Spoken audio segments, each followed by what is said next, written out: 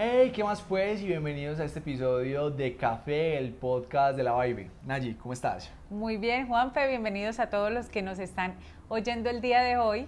Hoy vamos a tener un tema muy especial y es cómo aplicar las tendencias del mercado del café en ejemplos reales en empresas de café tostado. En la Vibe siempre todo lo que empezamos a compartir y a retratar en nuestros seminarios, en nuestros cursos, en Coffee Business, que es nuestra plataforma educativa, está basado en lo que hacemos en el mundo real con nuestra compañía. Y cuando empezamos a ver temas de tendencias, pues empezamos a probar todos los conceptos con nuestra marca de, de café tostado. Así es, Juanfe, y nos dimos a la tarea de sacar varias ediciones especiales para quienes nos están oyendo. Si pueden ver el video en YouTube o verlo en Spotify, se van a dar cuenta que estamos hablando porque trajimos dos de las ediciones especiales que salieron de la Vibe y que les vamos a contar todo lo que se hizo detrás de estas ediciones especiales y cómo funcionaron para el mercado. Bueno, la primera edición especial que vamos a, a mencionar es la edición especial de Spice, que como ven es una botella que cuando la lanzamos muchas personas pensaban que era un cold brew, pero no, sino que con la botella queríamos demostrar si la tendencia de los empaques reutilizables y amigables con el medio ambiente efectivamente tenía un impacto en las ventas de, del producto como tal. Y otra de las tendencias que queríamos aplicar en la edición Spice era educar para vender, porque esto, eh, el contenido de esta botella era un café infusionado, Juanfe. Cuéntanos qué es un café infusionado y qué fue lo que hicimos en educación.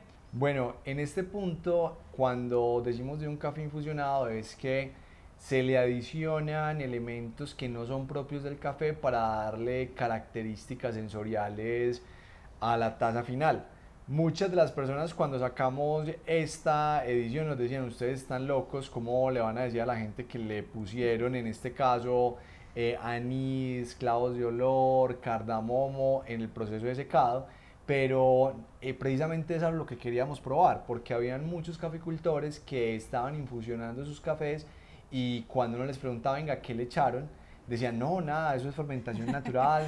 bueno, eh, no nos engañen porque uno catando el café se da cuenta que esos cafés están infusionados, o sea, que le pusieron algunos elementos externos al café.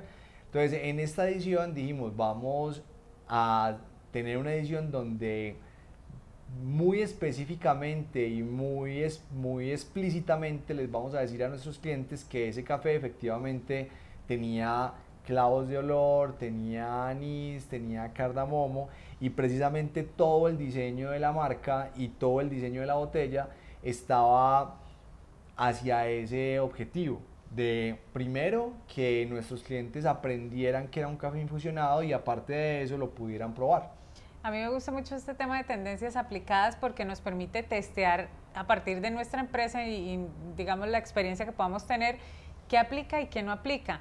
Y algo, por ejemplo, que comparten estas dos ediciones especiales es el tema de comunidad y el tema de tener un elemento de colección en sus, eh, en sus colecciones privadas de café, porque pasó algo particular con las dos, y es que algunos de nuestros compradores guardaron no solamente el empaque, sino el café, y nosotros les decíamos, bueno, el café no es como el vino, que se va poniendo mejor con los años, por favor se lo toman, pero nos decían, no, es que es tan bonito y tan especial, y cuenta cosas que me identifican tanto con la, con la comunidad de Felices Cafés, así se llama la comunidad de nosotros de, de café tostado, que me gustaría conservarla completa. Entonces las dos, eh, las dos comparten esa tendencia, fueron solo 100 unidades en una, 150 unidades en la otra y no más. Y cada una de, la, de las botellas o la lata, que ya vamos a, a pasar a hablar de, de, la otra edición, está marcada manual, pues de manera manual y pues son únicas eh, y quienes las tienen,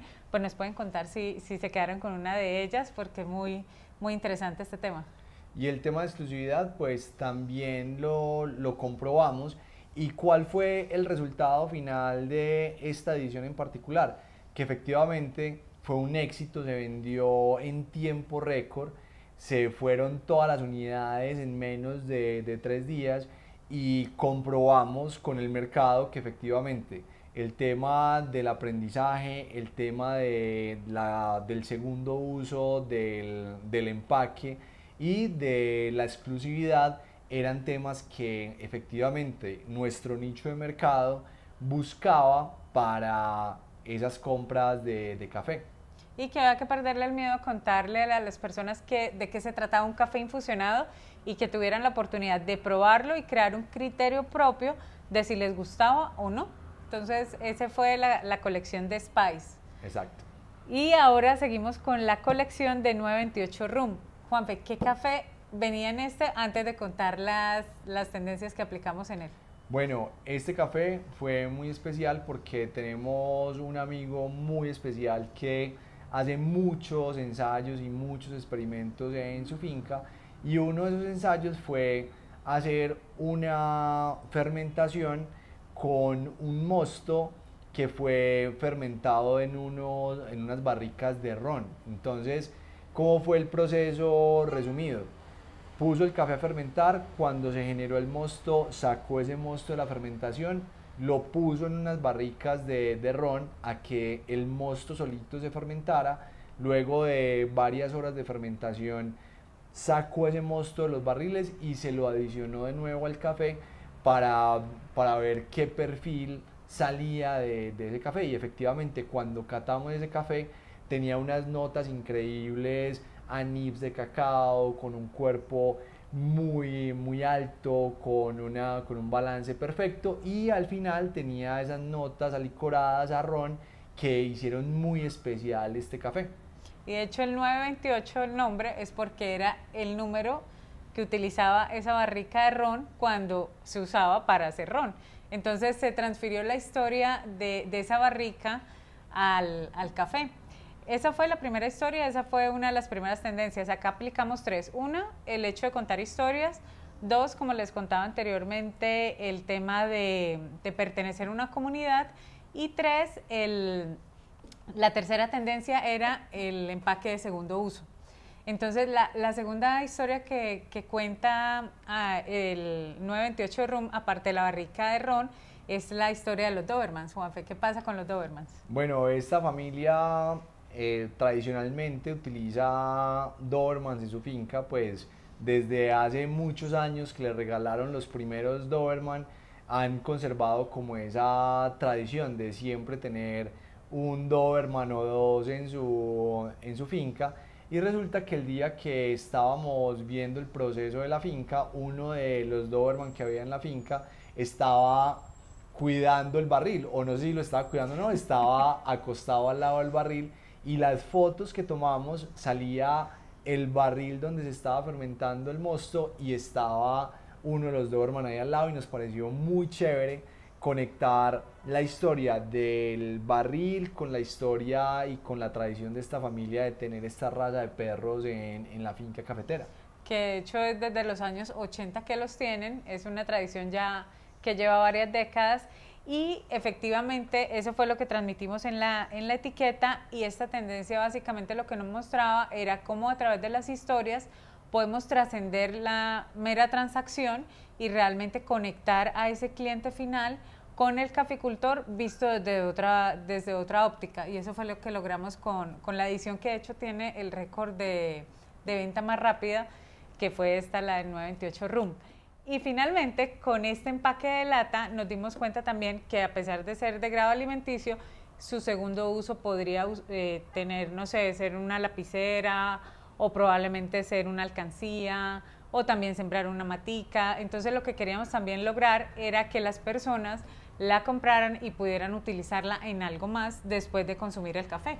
Bueno, y después de estos experimentos en el mercado real, pues pudimos verificar varias de las hipótesis que teníamos y probablemente en el futuro con nuestra marca de café seguiremos experimentando para que ustedes sigan aprendiendo y sigan teniendo como estos elementos de construir narrativas y de construir productos que sean mucho más atractivos para su nicho de mercado. y que sea un momento para darle las gracias también a la comunidad de los Felices Cafés por estar siempre con nosotros, por apostarle a una nueva forma de ver el café tostado que disfrutan mañana tras mañana.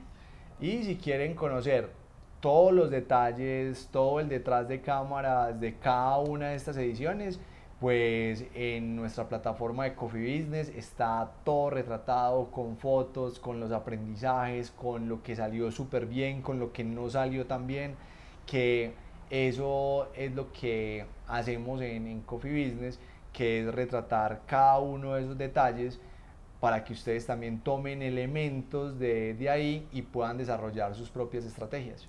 Bueno, esperamos que este episodio les haya servido para que eleven sus habilidades y también aceleren resultados en sus empresas de café. Recuerden pasar la voz que si no son ustedes, son sus amigos o familiares o quienes estén iniciando un negocio de café o ya lleven tiempo en él, para que conozcan de cerca todo lo que estamos conversando aquí en el podcast. Bueno, que estén muy bien y que tengan muy felices cafés. Chao.